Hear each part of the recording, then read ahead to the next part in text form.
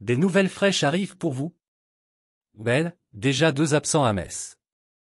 Mais avant que je partage cette nouvelle avec vous, abonnez-vous à ma chaîne pour ne manquer aucune actualité de première main sur l'Olympique lyonnais. Samedi, l'OL accueillera le FC Metz en Coupe de France. Les Messins devront se passer de Marc-Aurel Caillard et Kevin Endoram.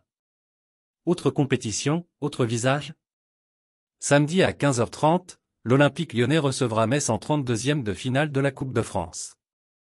En difficulté en Ligue 1, le groupe de Laurent Blanc espère rebondir face à un adversaire jouant les premiers rôles en Ligue 2. Les Messins savent déjà qu'ils devront se passer de deux joueurs blessés pour cette affiche. Joueur important au milieu de terrain, Kevin Endoram est touché à la jambe et forfait pour plusieurs semaines. L'ancien monégasque a été titulaire à neuf reprises lors des 13 rencontres qu'il a disputées. L'autre absent est Marc-Aurel Caillard, deuxième gardien et doublure d'Alexandre Oukidja. Le portier a été victime d'une rupture des ligaments croisés fin août. Kouyaté est de retour.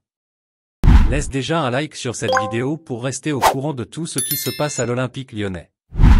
En revanche, Kiki Kouyaté, défenseur central, a fait son retour à la compétition lors de la dernière partie des Grenats à Grenoble.